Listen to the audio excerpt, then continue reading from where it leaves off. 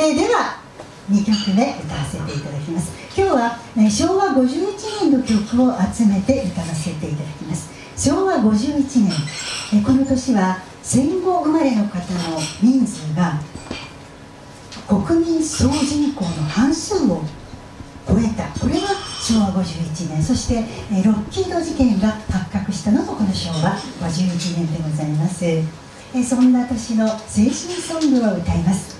青春時代。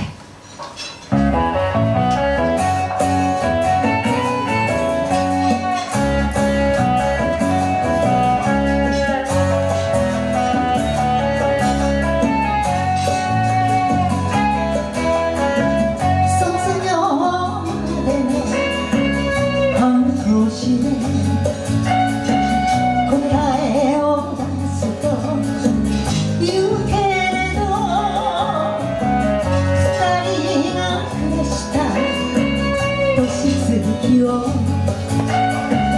何